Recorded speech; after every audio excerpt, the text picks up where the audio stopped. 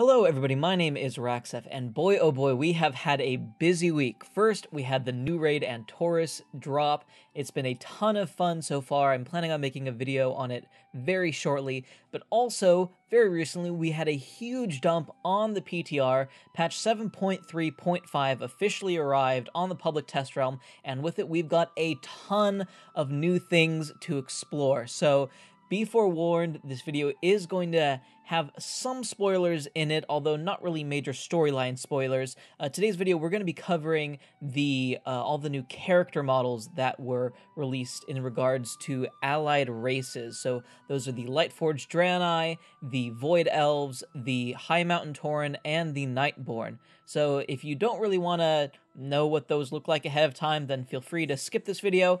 But if you're interested in learning a bit more about them, then of course feel free to stay aboard. So before we get into the actual character models, I just want to let you know that I'm not going to be going through every single little detail on every single model for both genders. I'm really only going to be highlighting some of the more interesting customization points and pointing out a couple of interesting things that I saw on the way. So first up, we have the Lightforged Draenei. So what we're looking at here are the tattoos for both the male and female Lightforged Draenei. Now, right off the bat, I think they look really cool. I don't think they look as good as the tattoos you could select as a demon hunter. Um, and and we only have about three options for each gender, so I'm sure more will be coming. Overall, I really like the look of the Lightforged Draenei, and that's coming from someone who doesn't really like Draenei. I like that they've got these golden horseshoes, and they've got all this kind of golden plating all around their body, and it looks pretty cool. I think Blizzard missed an opportunity to up their customization game when it came to these tattoos.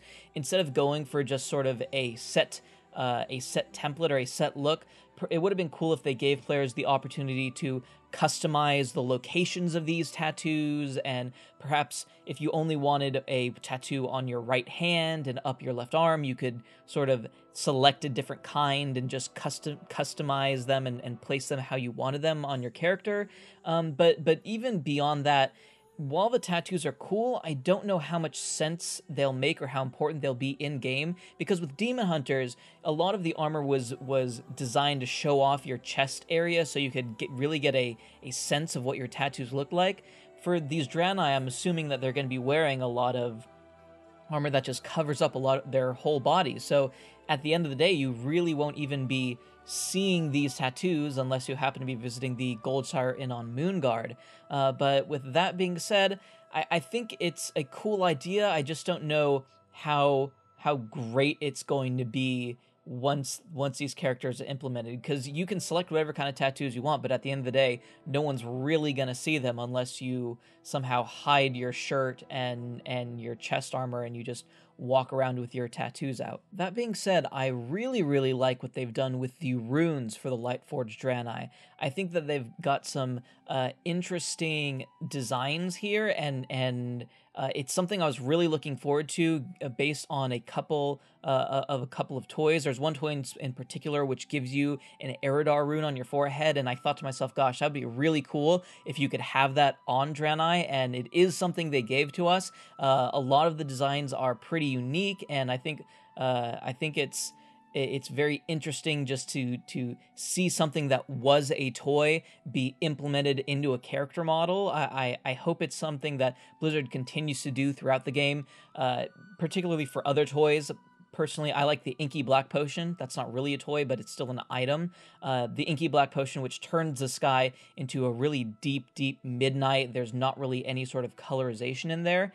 Uh, it's a deep black, and, and I want them to make that a standard option within the game instead of drinking a potion to that because the look of that uh, looks really really cool particularly if you're in a city. The light effects of a city really pop at night with with an inky black potion. So so to me what this is saying is that blizzard is kind of looking at certain toys at least and then seeing how they could possibly implement, implement that into character customization. So really, really cool work done for these runes for both genders. I'm interested in seeing uh, seeing more and seeing perhaps if these runes change or have any specific animations to them, but uh, but so far pretty good job on the Lightforged Draenei. Next up we have the Void Elves. Now this class got me really really excited, and and now that it's here on the PTR, I'm strongly considering transferring over to the Alliance because these models are really really great.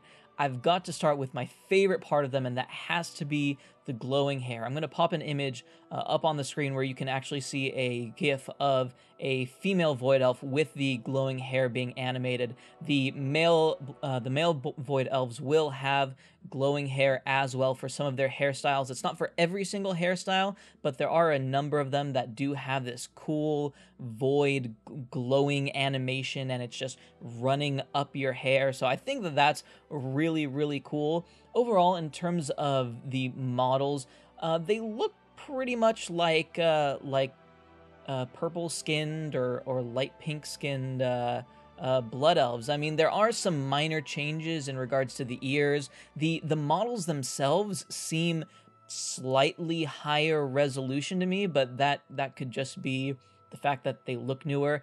Uh, the the hair overall looks really really good particularly uh, for the female models and and not just in the style of the hair but in in terms of the fidelity like it, it just looks um, slightly more detailed than hairstyles that we have on our current races. So maybe that's a sign that Blizzard is going to be up in the game in terms of the resolution of character models again. I think that would be really, really cool. Uh, th- there are tons and tons of really great uh, hairstyles when it comes to these void elves. Not so much in terms of other kinds of customizations. There's uh, there's interesting. Uh, there's some interesting skin colors. I mean, it ranges from sort of light purple to to almost like a, a blue, uh, but but no sort of special kind of effects that you get for being a void elf. Uh, we do know that void elves are going to have some sort of toggle where they go between normal form and void form. I don't know if if that particular form has any sort of customization to it, like the Worgenar. When you change something on your on your actual Worgen form, then it changes something on your human form, and you can kind of decide on your customization customization that way. Uh, it'd be interesting if we had some sort of indication of that. Right now, all I can guess is that when we have our void forms, it's just like our normal forms, but we're covered in void purplish smog and smoke and uh, and it's very similar to how Alleria looks when she's in her void form. Ultimately, we just have to wait and see, but I'm really really excited for void elves. I wanted anything but a a night elf on the alliance. I, I wanted a new elf race for the alliance and I was I was partially thinking there'd be high elves, but void elves are certainly very, very interesting, and I'm definitely at least going to make an alt void elf. I'm going to be making an alt of all the allied races because I just really want to get the get the heirloom armor. But uh, overall, from what I've seen of Void Elves, not as much customization as compared to the Lightforged Draenei, but the the coolness of the glowing hair and the fact that the hair just looks so much better, in my opinion, than than current hair models that we have so far. It's making me really excited for Void Elves. Next up for the Horde, we have the Highmountain Tauren. Now, this is a race that I was kind of excited about, but not really. And, and, that's more so just because to me it seems like the High Mountain Tauren are just normal Tauren with big moose antlers. Uh, they're they're now instead of regular cows, they're moose cows. Uh, they do look kind of cool. Uh, in terms of the customization options, I, I think it's interesting that these antlers have kind of almost runes etched into them. So it does give them an interesting look, but but overall personally I'm not that excited for the High Mountain Tauren. I think I think what most people are going to be excited for when it comes to the High Mountain Tauren are the new Druid forms, which I'm going to be popping up on the screen. Uh, it it seems to me that that the the druid forms are what people expected. They're not anything super radical. You know, your bear form is going to look like a bear, your cat form is going to look like a cat your your travel form is going to look like a moose. Uh, it, it everything just looks as it people kind of would expect, except it's going to have some form of antlers on it. So some of the models look a little bit funny. You know, a, a cat with antlers kind of looks a little bit weird in World of Warcraft, but if you're into that sort of thing, then you know you're probably really celebrating other than that, nothing really stands out to me for the High Mountain Tauren. But then again, I've never been really connected to to races like the like the Tauren or the Pandaren or the uh, or the Trolls. Just uh, but but particularly the Tauren, they just don't really do anything for me. But it, it is kind of cool that we're getting some different type of Tauren. It, it ultimately when you compare the High Mountain Tauren to to all of the allied races that we've seen so far, they're just the most underwhelming to me. And finally, we have the Nightborne. Now, the Nightborne to me stand out as pretty interesting when it comes to the allied races because so far, for every allied race that we've seen, there's been some sort of special customization. For the Lightforged Draenei, you have the tattoos and you have the, the runes on their foreheads.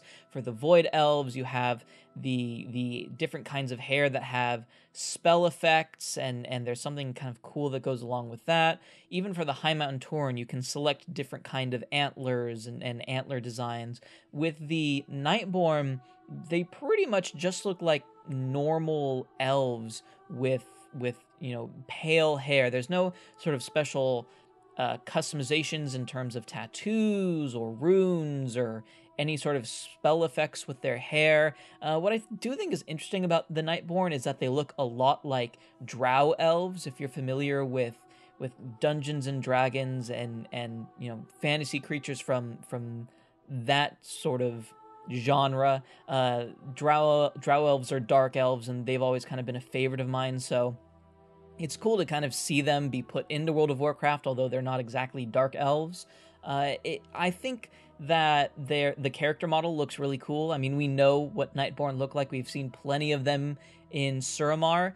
Uh, the hairstyles themselves are kind of standard from what you'd expect. You there's some uh, there's some styles that are very reminiscent of some night elf hairstyles, and there's other hairstyles that are reminiscent of blood elf hairstyles. So, you know, I'd kind of like to see something more in in the sense of customization, particularly because the Nightborne are a very magically adept race. You would think that perhaps you could have some sort of ar- arcane runic tattoos going up their arms, similar to the Lightforged Draenei, or, or, or you know, some sort of glowing spell effect with their hair like the Void Elves had.